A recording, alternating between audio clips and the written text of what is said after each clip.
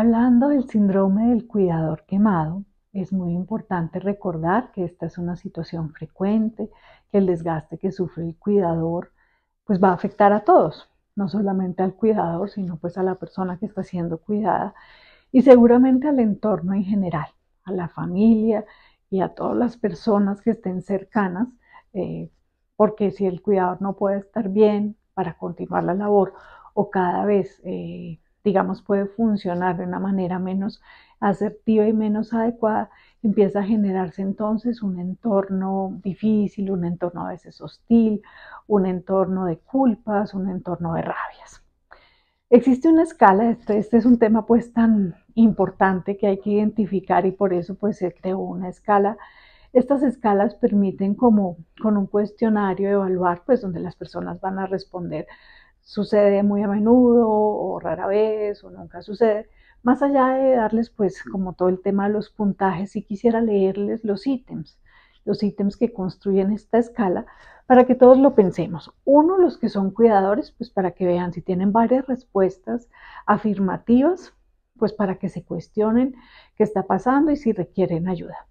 Y para los que no son cuidadores, como para que cada vez entendamos más y seamos más empáticos con la persona que está prestando esta gran colaboración, esta, este gran servicio en la vida. Esto es un aporte, pues en general, eh, que pocas personas son capaces de hacer porque implica, pues, donar muchísimo del ser, ¿no?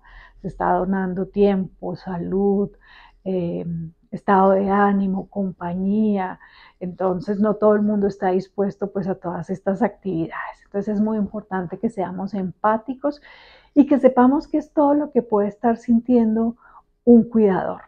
Entonces, en esta escala, que está compuesta de 22 ítems, les voy leyendo eh, como algunas de estas preguntas que aparecen.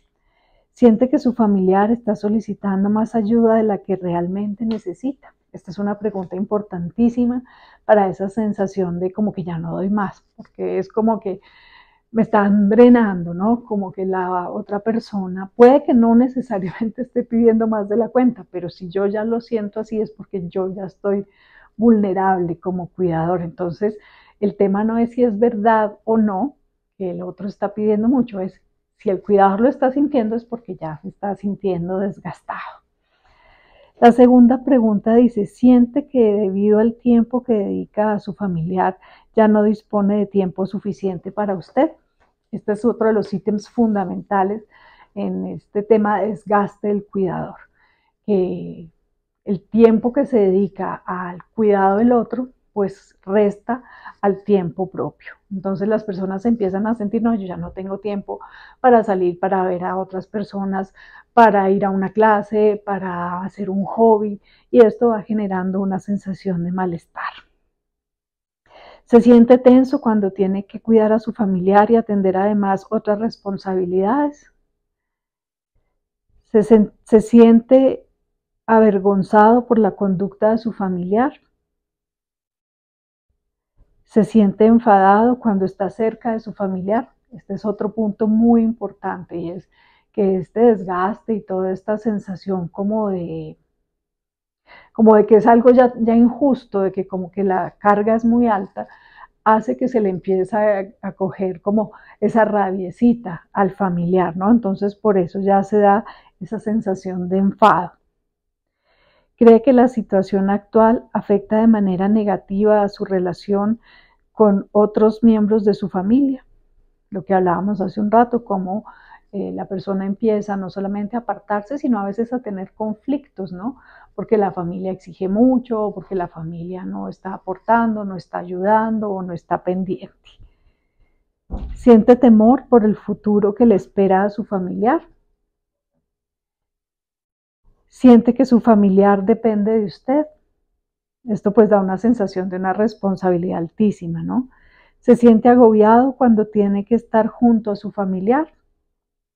Siente que su salud se ha resentido por cuidar de su familiar, lo que hablamos, pues cómo empiezan a haber cambios físicos, ¿no? Dolores de cabeza, dolores de espalda, cansancio, cambios en el sueño. Siente que no tiene la vida privada que, se, que desearía debido a su familiar ¿Cree que su vida social se ha visto afectada por tener que cuidar de su vida familiar? ¿Se siente incómodo para invitar amigos a casa a causa de su familiar?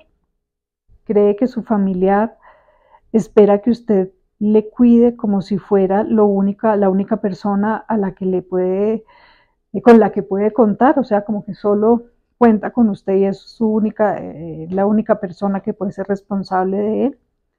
Cree que no dispone de dinero suficiente para cuidar a su familiar, además de sus propios gastos. Bueno, esto es súper clave porque usualmente eh, los cuidadores familiares no reciben ninguna remuneración. Siente que será incapaz de cuidar a su familiar por mucho más tiempo. Aquí ya es cuando entonces la persona está en ese punto ya de quiebre que siente que ya no va a poder más y que no va, y, es la culpa, no, no voy a poder estar para el otro, pero ya no doy más con la situación y ahí florecen la cantidad de síntomas si no se toman medidas. Siente que ha perdido el control sobre su vida desde que la enfermedad de su familiar se manifestó. Desearía poderse, poder encargar el cuidado de su familiar a otras personas, o sea, también a veces esa necesidad de delegar. Se siente inseguro acerca de lo que debe hacer con su familiar. Siente que debería hacer más de lo que hace por su familiar. Ahí viene mucho la sensación de culpa, de que no es suficiente lo que se está haciendo. Cree que podría cuidar de su familiar mejor de lo que hace para rematar, el, cuidador pues está muy inmerso como en estas labores cotidianas y siempre se está cuestionando, ay no, pero yo no lo hago tan bien, pero si yo lo hiciera mejor, pues mi familiar estaría más tranquilo o más contento o se aliviaría. Y entonces pues se dan mucho palo, se culpan y se miran de una manera muy crítica y eso pues aumenta mucho más esa sensación de malestar y de desgaste. Y la última pregunta es, ¿en general se siente muy sobrecargado por tener que cuidar de su familiar? Quería entonces dejar estas preguntas. Eh, recuerdan, recuerden pues si, si alguna persona es cuidadora y se identifica que varias de estas respuestas son afirmativas, por favor debe buscar ayuda. Ya con esto nos queda muy claro todo lo que puede estar pasando en el entorno eh, emocional y personal de un cuidador. Entonces les recuerdo, seamos empáticos, acompañémoslos, cuidémoslos también a los cuidadores y ayudemos pues a que puedan seguir ayudando a otros. Soy Vicky Pérez, médico psiquiatra. Espero que tengas un lindo día en armonía. Recuerda que todos los días tengo videitos con información de salud, de bienestar. Suscríbete a mi canal.